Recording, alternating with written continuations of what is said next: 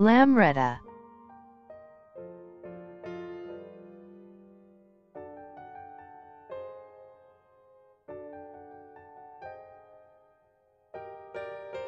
Lambretta is the brand name of mainly motor scooters, initially manufactured in Milan, Italy, by Innocenti. The name is derived from the word Lambrate, the suburb of Milan named after the river which flows through the area, and where the factory was located.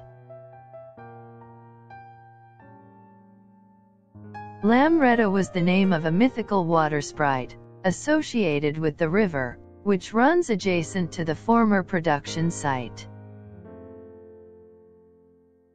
In 1972, the Indian government bought the machinery of the Milanese factory, creating Scooters India Limited, SIL, in order to produce the Lambro three-wheeler, under the name Vikram, for the domestic market. Lambretta scooters were also manufactured under license by Fenwick in France, NSU in Germany, Serveta in Spain, API in India, Yulon in Taiwan, Pasco in Brazil, Auteco in Colombia and Siambretta in Argentina. Innocenti SA, also known as Lambretta Consortium, based in Lugano, Switzerland, is the owner of the international trademark Lambretta, and has licensed the brand throughout the world. In 1922, Ferdinando Innocenti of Pescia, built a steel tubing factory in Rome. In 1931, he took the business to Milan, where he built a larger factory, producing seamless steel tubing and employing about 6,000.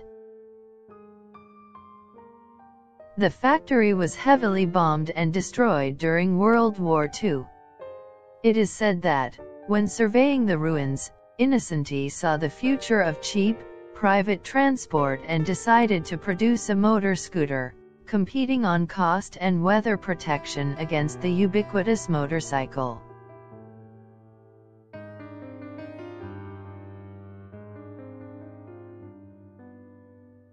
The main stimulus for the design style of the Lambretta and Vespa dates back to pre-World War II Cushman scooters made in Nebraska, United States. These olive green scooters were in Italy in large numbers, ordered originally by the United States military as field transport for the paratroops and Marines. The United States military had used them to get around German defense tactics, of destroying roads and bridges in the Dolomites, a section of the Alps, and the Austrian border areas.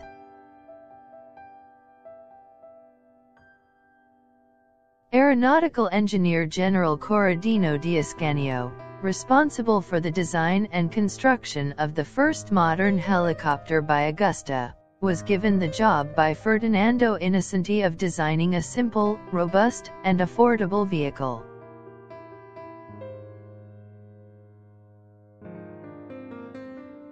It had to be easy to drive for both men and women, be able to carry a passenger and not get its driver's clothes soiled.